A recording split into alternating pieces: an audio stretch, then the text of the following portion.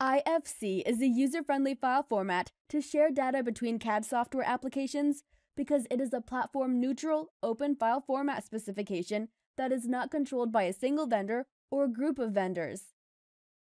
IFC allows you to import 3D models created with other architectural CAD software into Vertex BD.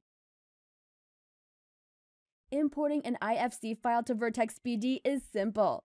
Select IFC import from the File menu, and then Import dialog appears on the screen.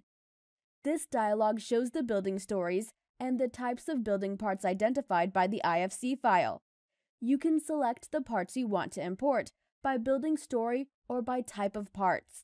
You can also adjust story heights of the active project by checking on Adjust 3D levels automatically.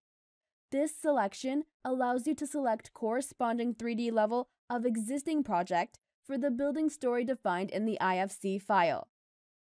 Now the IFC file has been imported.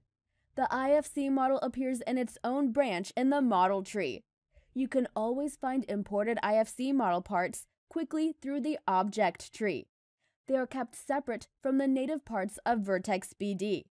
You can hide and unhide IFC parts, and you also have direct access to single parts.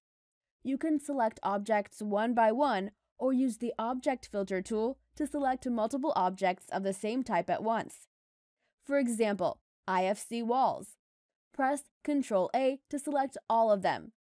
Import function works for all IFC models, such as building models, partial buildings, MEP design parts, or any other IFC models created for other purposes.